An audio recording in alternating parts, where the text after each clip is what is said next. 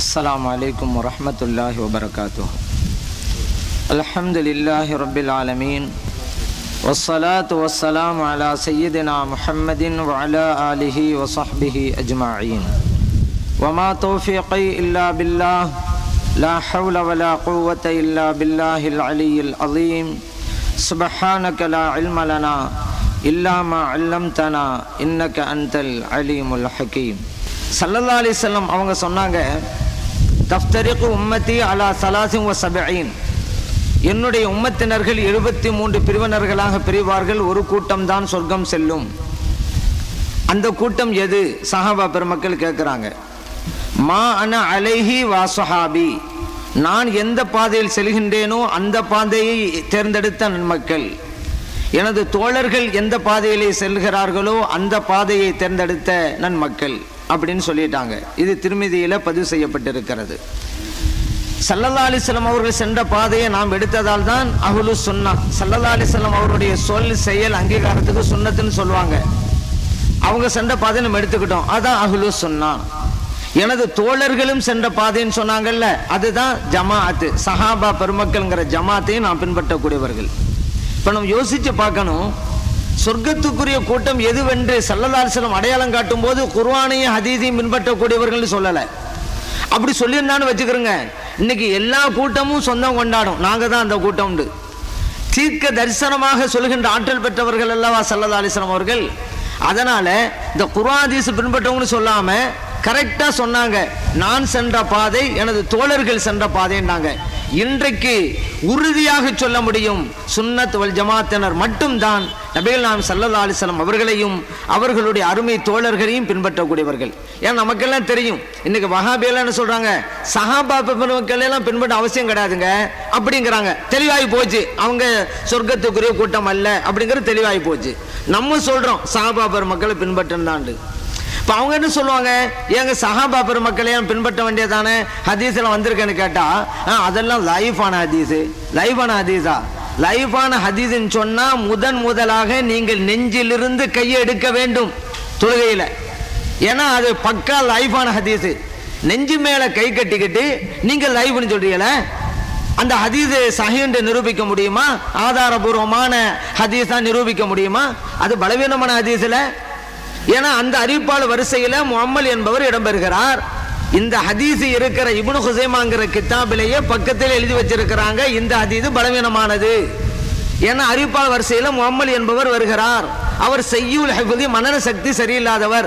எந்த கித்தாபிலேருந்து இந்த ஹதீஸ் எடுக்கிறாங்களோ பக்கத்தில் எழுதி வச்சிருக்கிறாங்க. இது பலவீனமானது. பலவீனமான ஹதீஸை எடுத்துக்கிட்டு நெஞ்சில கையை கட்டிக்கிட்டு நீங்க சொல்றீல பலவீனமா ஹதீஸா இருக்குது. சாபா பெருமக்கள் பின்பற்றதெல்லாம் அதெல்லாம் பின்பற்ற மாட்டோம். இப்படி சொல்வதற்கு என்ன அருகதை இருக்கிறது உங்களுக்கு? இது பலவீனமானதுதான். இதே ஹதீஸு அகமதுல வருது. அதனால நாங்க கட்டுறோம். அது இதுவரை மோசமாவில் இருக்குது. என்னமோ நினைச்சுக்கிற நம்மளாம் போய் கித்தாப பார்க்க மாட்டோம் நினைச்சுக்கிறது. அந்த அதுல பார்த்தா குபைசா என்பவர் இடம்பெறுகிறார் சிமாக் என்பவர் இடம்பெறுகிறார். அப்படியானால் மிகவும் பலவீனமான ஹதீஸா அது இருக்கிறது. நம்ம பல தடவை அறிவிச்சிருக்கிறோம். நெஞ்சுக்கு மேல கை கட்டுற ஹதீஸ ஆதாரபூர்வமானது நிரூபிச்சுட்டா ஒரு லட்ச ரூபா பரிசு. ஒன்பது மாசம் ஆச்சு நாங்க நோட்டீஸ் போட்டு. கோயம்புத்தூர்ல போட்டோம். அது தமிழகத்தில் எல்லா இடத்துலையும் கொடுத்துக்கிட்டே இருக்கிறோம். பத்து கேள்வி வச்சிருக்கிறோம். இந்த பத்து கேள்வியில ஒவ்வொரு கேள்விக்கும் அவங்க பதில் சொல்லிட்டாக்க ஒரு லட்சம். அப்ப பத்துக்கும் சொல்லிட்டா பத்து லட்சம் ரூபாய். ஒன்பது மாசம் போய் போச்சு இன்னும் வரல. அந்த பத்து கேள்வியில ஒண்ணுதான் நெஞ்சு மேல கை கட்டுறது.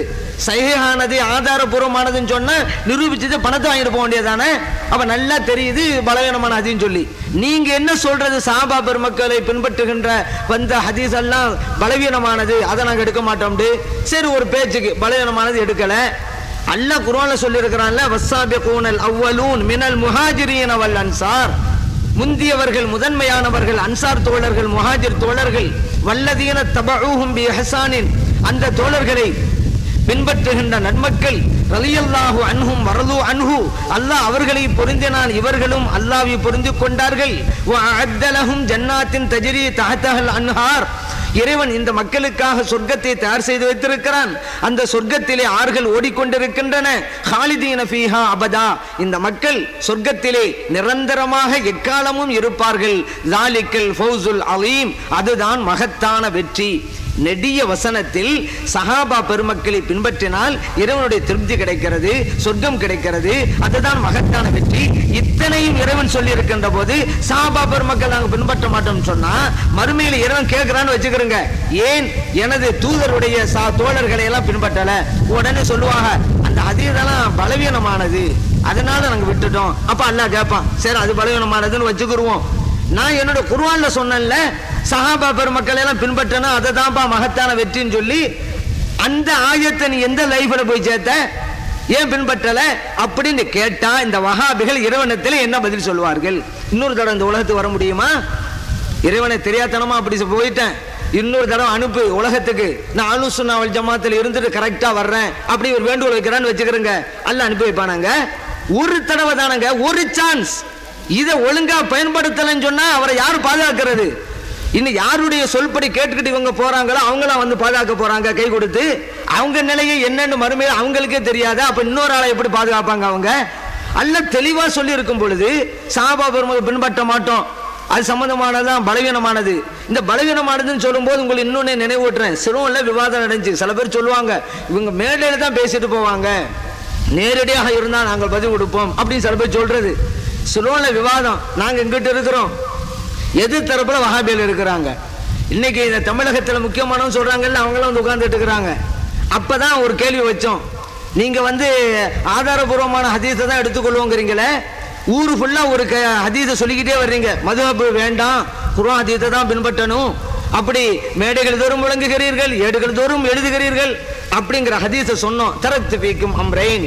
உங்களிடம் நான் இரண்டை விட்டு செல்கிறேன். சலதாசன் சொன்னது லன் தலில்லுமா தமசக்து மிகமா இந்த ரெண்டையும் பட்டு பிடிக்கும் காலமெல்லாம் ஒரு கால் நீங்கள் வழி தவற மாட்டீர்கள். ஒன்று கிதாபுல்லா இறைவனுடைய வேதம். ஒரு சுன்னத் ரசூலிஹி ரெண்டாவது அல்லாவுடைய ரசூல் சல்லல்லாஹு அலைஹி வழிமுறை. இந்த ஹதீஸை எல்லா இடத்தையும் சொல்றீங்கல்ல? இந்த ஹதீஸ் ஆதாரபூர்வமானது என்பதை இந்த மன்றத்திலே நிரூபிக்க வேண்டும் என்று விவாதத்தினுடைய தொடக்கத்திலே வைத்தோம். காலையில் தொடங்கிய விவாதம் இரவு தான் முடியுது. அப்ப நாங்க மறந்துட்டோம். இல்லைன்னா சொல்லியிருப்போம். செப்பக்கட்டு கட்டுவான்னு சொல்லி தான் இடையில இடையில் நினைவூட்டணும். நான் இப்படி ஒரு கேள்வி வச்சிருக்கிறோம். இது வரைக்கும் பதில் சொல்லல. உப்பா சொல்லுங்க இரவு தான் முடிகிறது. அது வரைக்கும் சொல்ல முடியவில்லை. அந்த ஹதீஸ் சஹீஹானது ஆதாரபூர்வமானது என்று நிரூபிக்க முடியவில்லை. அன்றைக்கு முடியவில்லை. இன்றைக்கும் முடியவில்லை. இனி என்றைக்கும் முடியாது. ஏன்னா அது பலவீனமான ஹதீஸ். அப்போ மற்றவங்களுக்கு ஒரு நியாயம் இவங்களுக்கு ஒரு நியாயமா? பலவீனமான ஹதீஸ் எடுக்கக்கூடாதுன்னு சொன்னால் அவங்க கரெக்டாக இருக்கணும்ல அதில்?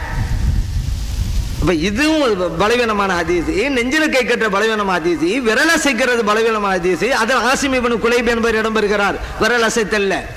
இப்னுல் முதேனிங்கிற என்கிற வல்லுநர் சொல்கிறார். ஆசிம் இப்னு குலைபு இடம்பெறுகின்ற அந்த ஹதீஸ் எடுக்கக்கூடாது என்கிறார். அதை வச்சுக்கிட்டு விரல் ஆட்டுறது செய்கிறதெல்லாம் லைவான ஹதீஸ் பலவீனமான ஹதீஸ். மற்றவங்களை மட்டும் சொல்றது. நீங்க பலவீனமான கொண்டு வரீங்களே? அப்படிங்கிறது. இது என்னது? ஆளுக்கு ஒரு நியாயம். எதிலும் நிலை இல்லாதவர்கள் இந்த வகாபிகள்